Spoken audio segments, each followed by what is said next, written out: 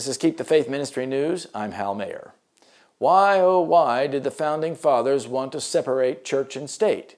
It was originally intended that institutions of the church, i.e., organized religions, and state be separated, while at the same time it was their intention to include God in the governing of our American society. The importance of that fact cannot be too strongly emphasized. It should serve as a template for every nation on the globe. If a person were to read the Declaration of Independence, they would find four references to God. These include an appeal to the Supreme Judge of the world, and the document further declares the Founding Fathers proclaimed a firm reliance on the protection of divine providence. You cannot seek God's protection and also declare that God must be left out of the affairs of the state. This fact is critical to the formulation of social policy, that our government originally turned to God for help. To be an American, therefore, is to seek God's help.